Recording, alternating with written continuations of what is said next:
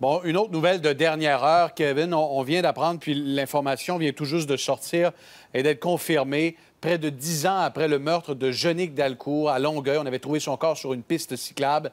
La police de Longueuil a procédé à l'arrestation d'un suspect. Oui, exactement. Elle avait 23 ans. Vous l'avez dit, là, ça dure depuis 10 ans.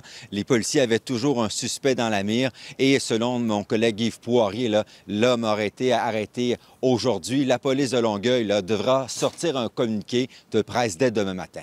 Oui, et d'ailleurs, donc, le suspect sera interrogé, c'est ce qu'on a appris, accusé ensuite. On aura plus d'informations. Donc, je le rappelle, le suspect euh, du meurtre, dans l'affaire du meurtre de Génique Dalcourt, a été arrêté par la police de Longueuil.